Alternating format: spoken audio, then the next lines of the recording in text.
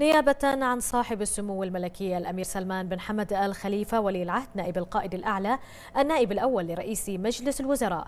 افتتحت معالي الشيخة مي بنت محمد آل خليفة رئيسة هيئة البحرين للثقافة والآثار فعاليات مؤتمر الآثار الإسلامية من منظور عالمي بمسرح البحرين الوطني بمشاركة شخصيات بارزة في مجال التاريخ والآثار من مختلف دول العالم.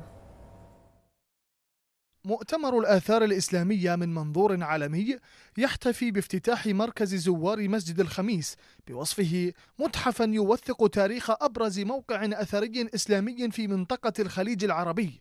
شهد الافتتاح شخصيات دبلوماسية وإعلامية وعدد من الأكاديميين والباحثين والمهتمين بشؤون الآثار.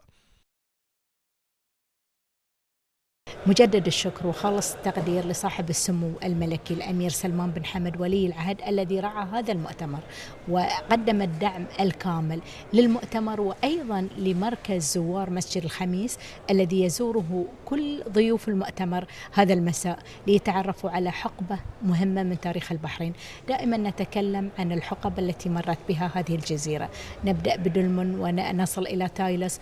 والحقبة الإسلامية لم نعطيها الحق الوافي من الدراسة والبحث.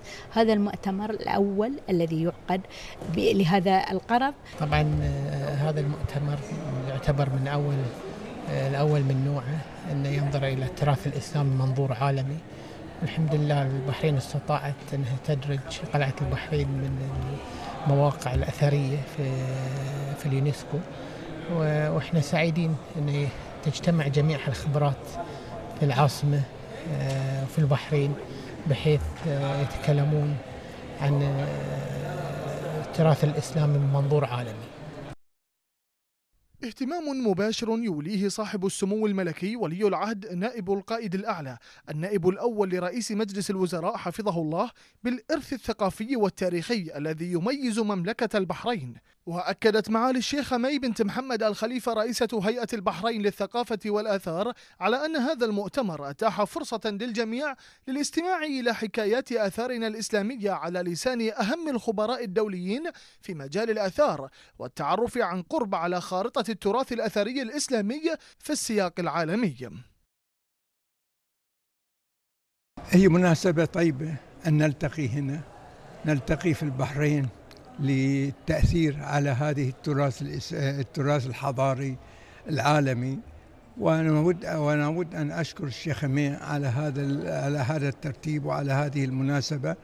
وإن الواقع البحرين لها مكانة خاصة في التاريخ الخليجي وفي التاريخ العربي.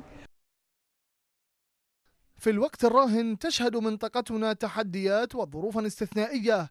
باتت مدعاة لنا لتسليط الضوء على تراثنا الأثري الإسلامي وبيان أهميته وتوضيح ما تتعرض له مواقعنا الأثرية من عوامل خارجية تحد من فاعلية جهود الحفاظ عليها. حيث يمر هذا المؤتمر في يومه الأول على أوراق عمل تستعرض الآثار الإسلامية في كل من البحرين ودول مجلس التعاون لدول الخليج العربية واليمن والعراق وسوريا والأردن.